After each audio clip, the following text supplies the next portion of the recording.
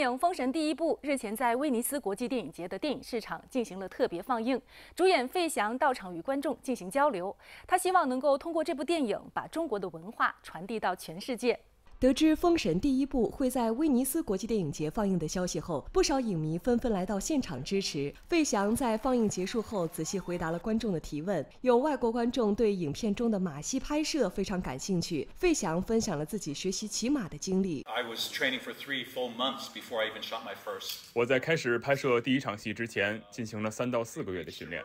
剧组必须确认所有一切都准备就绪了，才开始拍摄骑马的戏。因为战争戏很容易出现意外，所以导演乌尔善要确保每个演员都能非常自信地骑在马上，顺利地演完每一场戏。我觉得我们演得还不错，很开心。这部戏让我学会了骑马，这是我以前从没有过的经历。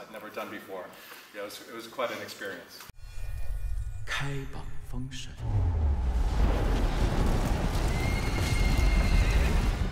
费翔也希望通过《封神》第一部在威尼斯国际电影节期间的放映，能让更多的外国人了解中国文化。这么一个经典的作品，中国的文化能够传递到全世界，我觉得特别重要。